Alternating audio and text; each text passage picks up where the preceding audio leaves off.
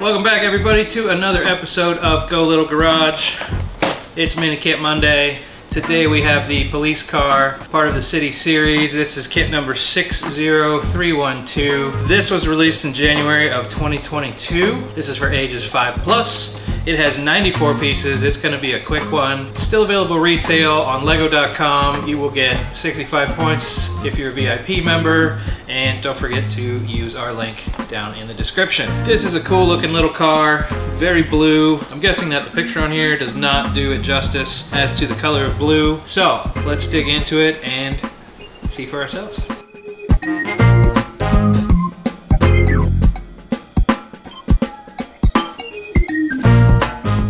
That was a little bit quicker unboxing than I thought. Thought there'd be a little bit more. One thing that I see that I like already, there is no decals. There are silkscreen parts like the sides. But I mean, it's a police car. You expect a lot more markings and stuff on it. They went simple on this one. There's just two sides that say police. There's a big old scoop sticking out of the hood. And it looks like there's some uh, pretty cool parts in here. Got a chassis, got a manual, got our two bags. Let's get going on this.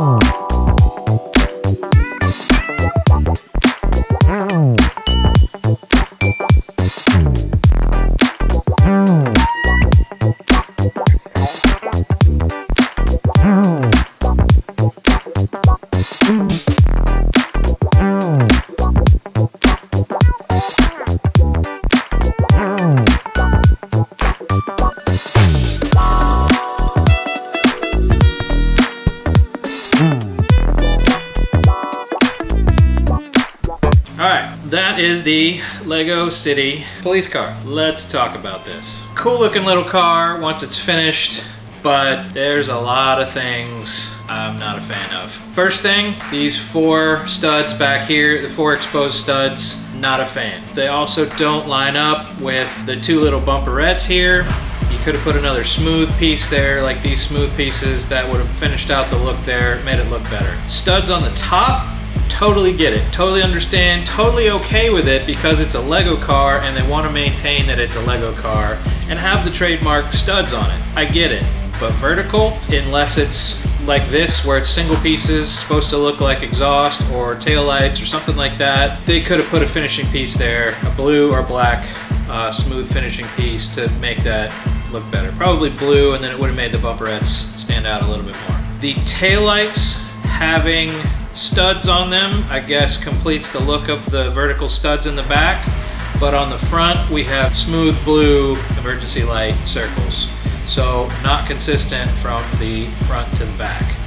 Not a fan of that. And also smooth on top for the lights here. And the headlights are smooth because they're just little slit headlights in here, which really look cool. I like those, and I'll get to the things I like in just a second. The one other thing I'm not a fan of, other than the steering wheel being very recessed in here for this guy, is you give him a flashlight to hold in the, the first pre-step, and then you know he's he can't drive with a flashlight and he can't even hold the flashlight because he doesn't fit in here. The other thing I don't like is there is visible orange brick and a big open space in the back here. There's no need for that to be open and there's no need for that brick in there to be orange. I get it, it's another one of those things where you need to tell the front from the back, but you have green in the front, you have orange in the back. You could have done green in the front and blue in the back and matched that all up, or black in the back and matched it all up and it would have been just fine. Or put a brick in there to cover up that orange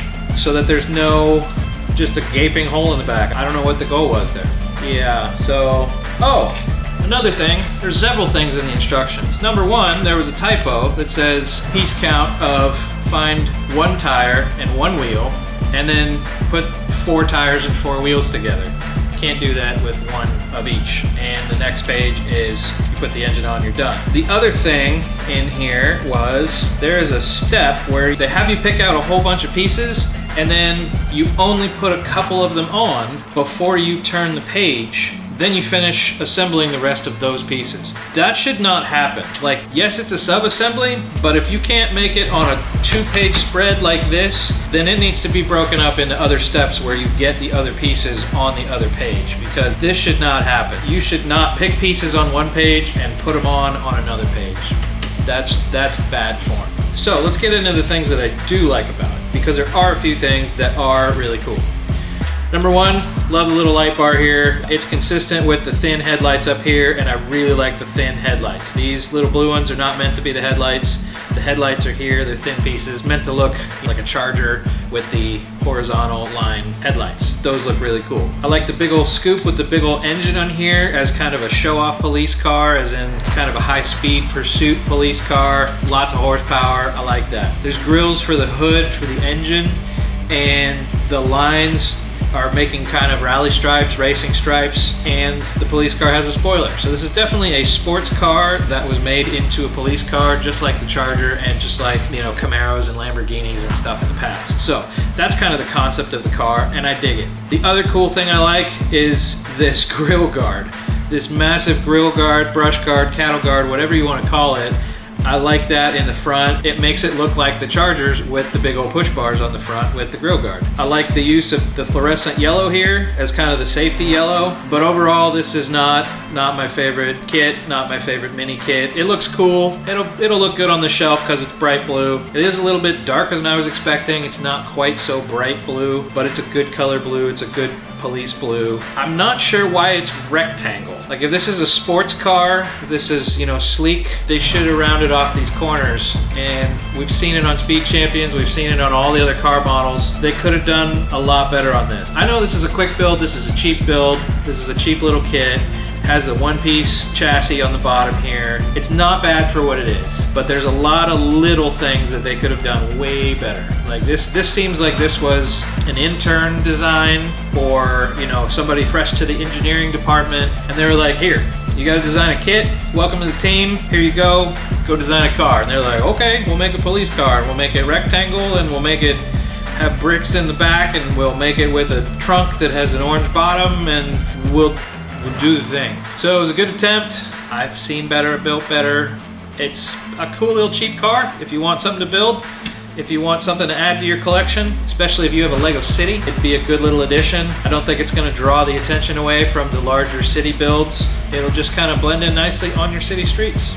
So if you want a cheap build, if you want a stocking stuffer for your kids, if you want something small, if you want something to, to, play with at work, pick it up. Otherwise, if you want a really cool car and a really fun build and a really astoundingly creative and well-engineered kit, this one's not the one. This one's not, not that at all. But the next one might be. So don't forget to subscribe, ring the bell for notifications so you know when we when these come out. Mini Kit Mondays are every other Monday right now. I'm, I'm trying to build up an inventory of mini kits so I can put one out every week, but I'm not there yet. So like I said, subscribe. We will definitely have a lot of builds, bigger builds, good builds coming up, as well as real car builds, but that's all coming up. For now, thanks for watching, and we'll see you next one.